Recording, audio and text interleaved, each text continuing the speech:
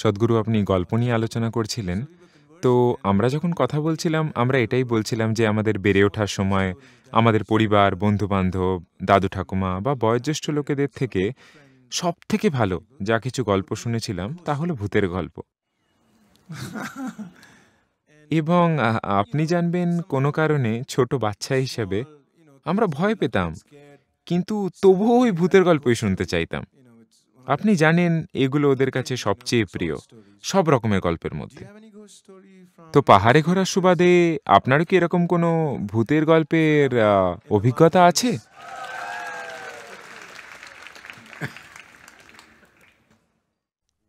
আচ্ছা এটা সত্যিই আমাকে সমস্যায় ফেলবে। দেখুন, ভূতের গল্প বলার উদ্দেশ্য ছিল আপনাকে ভয় পাওয়ানো নয়, বরং এক রোমহর্ষক অভিজ্ঞতা দেওয়া। এটা ঘটেছিল একটা নাপিতের দোকানে। এটা লুইসিয়ানা স্টেটের ঘটনা। সেখানে পুরো জায়গাটাই সব রকমের ভয়ের কমিক্স, ভূতের গল্প, শুধু এসব দিয়েই ভর্তি ছিল। না খবরের কাগজ, না ম্যাগাজিন, শুধু ওই সব জিনিস। তো একদিন একজন নাপিতকে জিজ্ঞেস করল, আপনি কেন এই ধরনের গল্পের বই দিয়ে পুরো সেলুনটাকে ভরে রেখেছেন? আপনার কি আর কিছু নেই? স্টাইল নেই, ফ্যাশন নেই, কিছুই নেই, শুধু ভূতের গল্প আর ভয়ের গল্প। কেন? তিনি বললেন, দেখুন, আমার যা পেশা, কারুর চুল খাড়া হয়ে গেলে আমার কাজের সুবিধা হয়।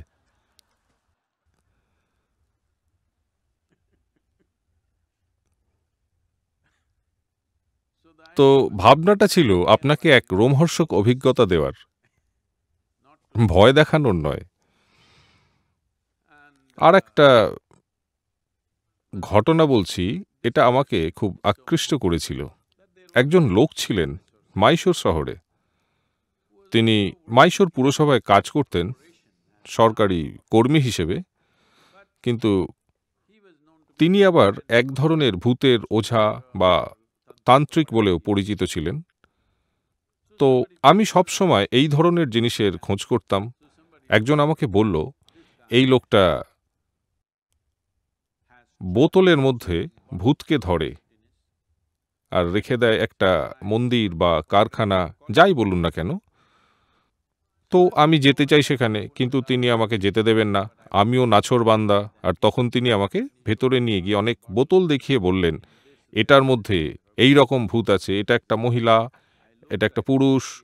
আমি দেখলাম পুরুষ মহিলা কিছুই নেই, যা দেখলাম, পরিষ্কার বোতল আর কর্কের ছিপিয়াটা। তো আমি তার সাথে বন্ধুত্ব করলাম, এটা ভেবে একটা বোতল চুরি করব। কারণ আমি সত্যিই ভূত দেখতে চাইতাম। কারণ আমি এত কিছু শুনেছিলাম, এত কিছু মানে অবিশ্বাস্য সব ঘটনা।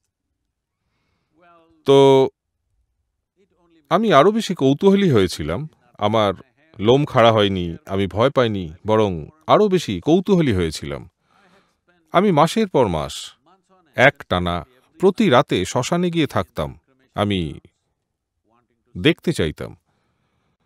তো লোকজন আসে, মৃতকে পোড়ায়, আর জানেনই তো, কাঠের সাথে যখন মৃতদেহ পড়ে, সেটা চার, পাঁচ, ছ ঘণ্টা লেগে যায়।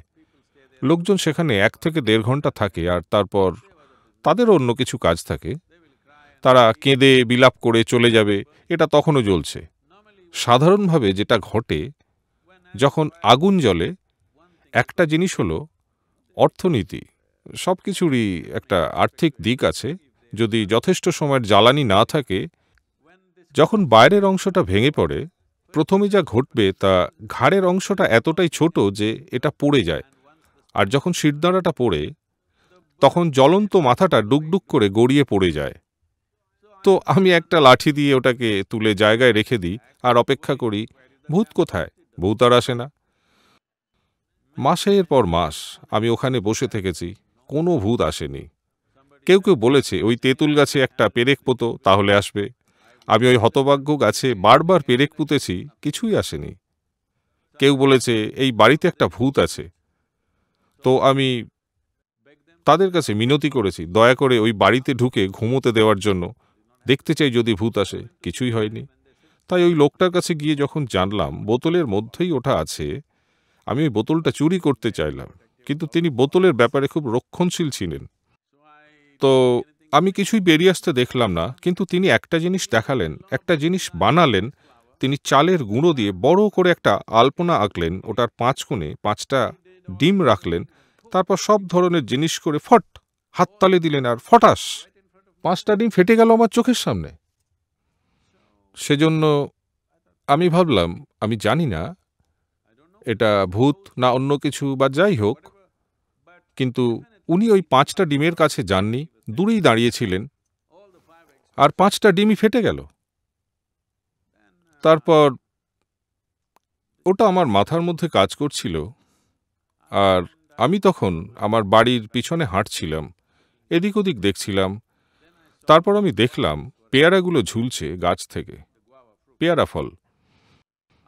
আমি ফলটার দিকে তাকালাম আর ফলটা পড়ে গেল।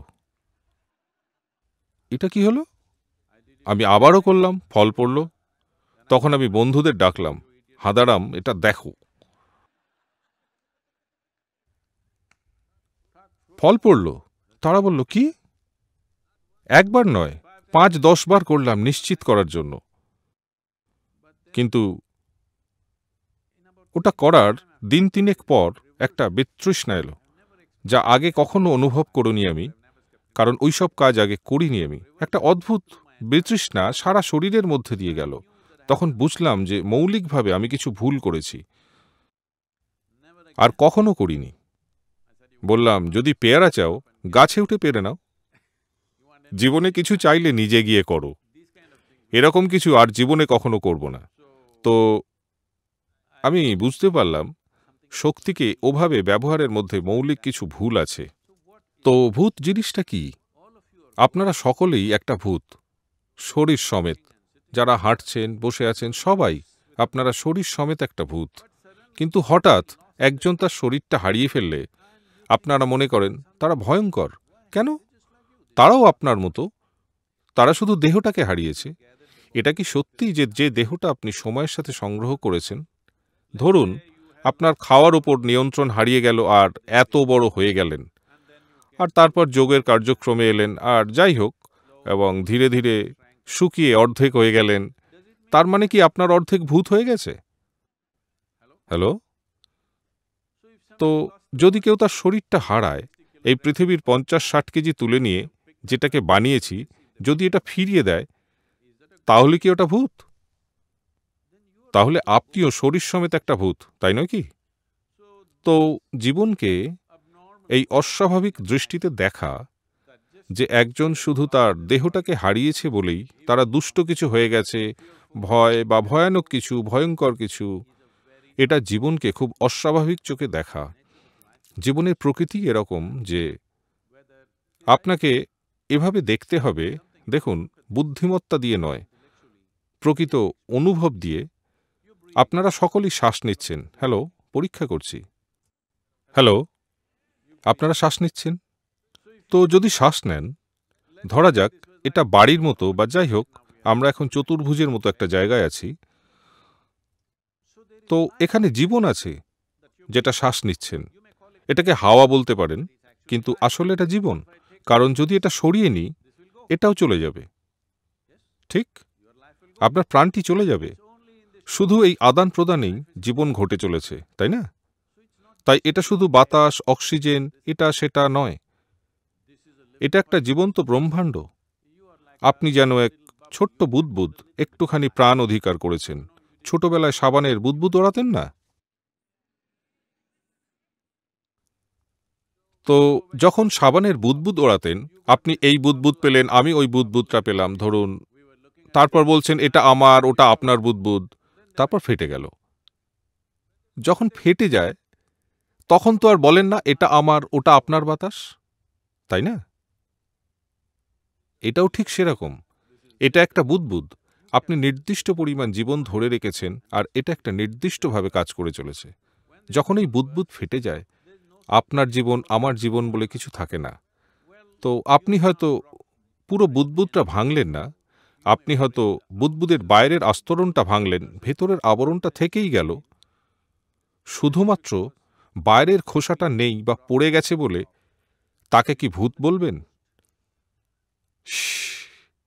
তাহলে আপনিও একটা সশরীরই ভূত।